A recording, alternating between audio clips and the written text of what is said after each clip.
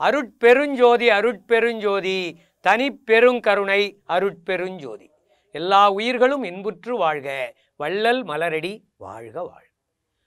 நாம் இன்றைக்கு பார்க்க இருப்பது திருவருட்பா ஆறாம் திருமுறை திருவடி பெருமை என்ற பாசுரங்களிலிருந்து பதினாறாவது பாடலுக்கான விளக்கத்தை பார்க்க போகிறோம். இந்த பாடல் தோன்று சக்தி பல கோடி அளவு சொல ஒன்னா தோற்று சக்தி பல கோடி. பல கோடி தொகை உரைக்க முடியா? சான்று உலகம் தோற்றுவிக்கும் சக்தி பல கோடி. தனை விளம்பல் ஆகா அச்சக்திகளை கூட்டி ஏன்ற வகை விடுக்கின்ற சக்தி பல கோடி. இத்தனைக்கும் அதிகாரி என் கணவர் என்றால் ஆன்ற மணிமன்றில் இன்ப வடிவாகி நடிக்கும் அவர் பெருமை எவர் உரைப்பார் அறியாய் என் தோழி என்பதுதான் இந்த பாடல். இதில் இந்த ஆற்றல் இங்கே இயங்கு ஆற்றல் இயக்கு ஆற்றல் என்று ஆற்றல் மயமாகவே இந்த பிரபஞ்சம் விளங்கி கொண்டிருக்கிறது. இது ஒரு விஞ்ஞானம் விஞ்ஞானபூர்வமாக இயங்கி கொண்டிருக்கிறது. விஞ்ஞானத்தில் கண்ட காட்சிகள் கண்ட கருத்துக்கள் கண்ட உண்மைகள் இருக்கிறது. விஞ்ஞானத்தால் கண்டுபிடிக்காத உண்மைகளும் இதில் நிரம்ப இந்த பிரபஞ்சத்திலே நிரம்பி இருக்கின்றன. இது அத்தனையையும் வள்ளல் பெருமான் திருவடிப் பெருமையிலே சொல்லியிருப்பார். விஞ்ஞான கருத்துக்களும் மேலோங்கி இருக்கின்ற வகையிலே தான் இந்த ஆற்றல் என்கின்ற இந்த சக்தியை பற்றி இவ்வளவும் சொல்லியிருப்பார். இந்த ஆற்றல் என்ற சக்தியை வைத்துக்கொண்டு விஞ்ஞானபூர்வமாக இதனை அணுக வேண்டும் என்பதுதான் இதில் நம்முடைய விருப்பம். இதில் ஒவ்வொன்றும் இது ஒ- இந்த உலகம் இயங்குகிறது இந்த உடல் இயங்குகிறது என்றால் இதிலே அறிவியல் உண்மைகள் இருக்கிறது விஞ்ஞானம் இருக்கிறது மெய்ஞானம் இருக்கிறது. இந்த மெய்ஞானத்தில் விஞ்ஞானமாக திருவருட்பா இருக்கிறது. அப்போ திருவருட்பா என்பதே மெய்ஞானத்தில் விஞ்ஞானம்தான். வெறும் விஞ்ஞானம் மாத்திரம் அல்ல. விஞ்ஞானம் என்பது நாம் மனிதர்களால் ஒரு சிறிது கண்டுபிடித்து அதற்கு மேல் எப்படி இந்த ஆகமங்களும் வேதங்களும் நாம் ஒரு ஒரு எல்லை வரை சென்றோம் அதற்கு மேல் வழியை காணேம் என்று சொன்னதோ அப்படிப்பட்டதுதான் விஞ்ஞானமாக இருக்கும்.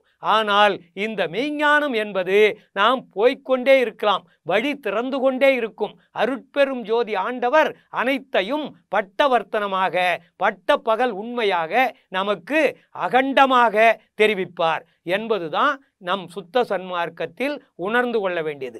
மெய்ஞான உணர்வோடு தான் நாம் இருந்தால் இதனை கண்டு இப்படி அந்த மெய்ஞானத்தோடு தான் வள்ளல் பெருமான் இங்கே அண்டங்கள் பல கோடி அண்டங்கள் இருக்கிறது என்பதை இங்கே வடலூரிலே ஞான சபையிலே அல்லது தர்மசாலையிலே உட்கார்ந்த இடத்திலே இருந்து தெரிந்து கொண்டு அதனை நமக்கு அறிவித்திருக்கிறார். பட் அந்த மேட்டுக்குப்பம் என்கிற சித்தி வளாக்கு வளாகத்திலே உட்கார்ந்து கொண்டு இருந்த இடத்தில் இருந்தே அத்தனை அண்டங்களையும் அத்தனை வெளிகளையும் நமக்கு காட்சிப்படுத்தி காண்பிற் காண்பித்திருக்கிறார். என்றால் வள்ளல் பெருமானாருடைய அந்த மெய்ஞானம் என்பது இன்றைக்கு இருக்கிற விஞ்ஞானத்தையும் உள்ளடக்கிய மெய்ஞானமாக இருக்கிறது. இந்த மெய்ஞானத்தை உணர்ந்து கொண்டால் நாம் ஒரு ராக்கெட்டை எடுத்துக்கொண்டு நிலாவுக்கு சென்று இந்த கண்டங்களையெல்லாம் விட்டு அடுத்த கண்டத்திற்கு சென்று இந்த வெளிகளையெல்லாம் எடுத்து அடுத்த வெளிக்கு சென்றுதான் அறிந்து கொள்ள வேண்டும் என்ற அவசியம் இல்லாமல் வள்ளல் பெருமான் இருந்த இடத்திலிருந்தே அத்தனை அந்த நிபுண நடராயர் என்று நம் கடவுளை சொல்லுவோமே அப்படி நிபுண நடராயராக அருட்பெரும் ஜோதி ஆண்டவராகவே வள்ளல் பெருமான் திகழ்ந்த காரணத்தினால்தான் இருந்த இடத்திலிருந்தே அத்தனை ஆற்றல்களையும் அத்தனை சக்தி சத்தர்களையும் அவர் ஒவ்வொன்றிற்கும் ஒரு பெயர் வைத்திருப்பார். இந்த பெயர் வேண்டுமானால் விஞ்ஞானிகளுக்கு புரியாமல் இருக்கலாம். அவர்கள் எந்த பெயரை வேண்டுமானாலும் வைத்துக் கொள்ளலாம். இப்படி கோடிக்கணக்கான அண்டங்கள் இருப்பதை விஞ்ஞானிகள் உணர்ந்து கொண்டு ஆய்வு செய்து கொண்டிருக்கிறார்கள் இன்றைக்கு.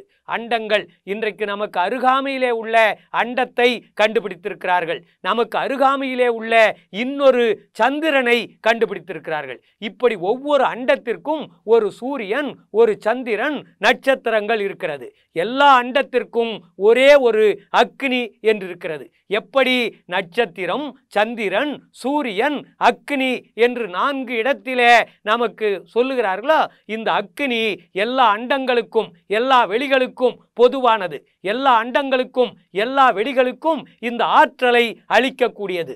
இந்த ஆற்றலை பெற்றுதான் எல்லாம் இயங்கிக் கொண்டிருக்கிறது. அது இயக்கு ஆற்றலாக இருக்கிறது. இது இயங்கு ஆற்றலாக இருக்கிறது. இந்த உண்மையைத்தான் தோன்று சக்தி பல கோடி.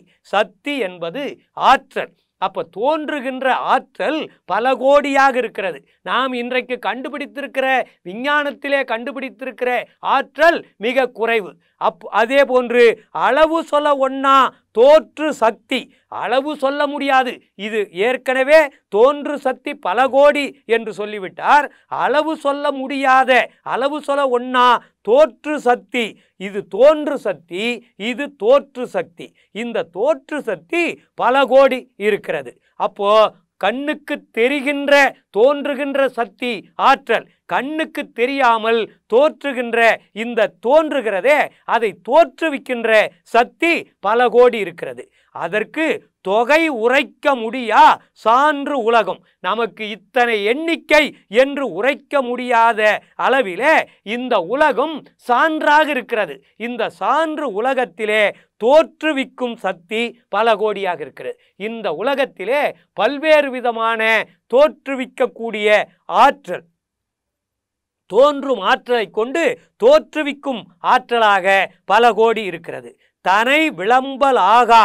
இப்போ நம்முடைய நம்முடைய ஆற்றலை தன்னுடைய ஆற்றலை தனை விளம்பலாக தன்னுடைய ஆற்றலை வெளிச்சொல்ல முடியாமல் இருக்கின்ற அந்த சக்திகளையெல்லாம் இப்படிப்பட்ட தோன்று சக்தி அளவு சொல்ல ஒன்னா தோற்று சக்தி பல கோடி தொகையாக தொகை உரைக்க முடியா சான்றுலகம் தோற்றுவிக்கும் சக்தி பல கோடி இதை தனை விளம்பலாக இது ஒன்றொன்று சக்தியும் தன்னை விளம்பிக் கொண்டிருக்கிற தன்னை விரித்து உரைத்திருக்கின்ற நம்மை தன்னை பற்றி சொல்ல முடியாத இருக்கின்ற அந்த ஆற்றலைகளையெல்லாம் கூட்டி இதை எந்த ஆற்றலையெல்லாம் ஒன்று சேர்த்து ஏன்ற வகை விடுக்கின்ற ஏன்ற வகை என்றால் இயன்ற வகையிலெல்லாம் விடுக்கின்ற சக்தி பல கோடி.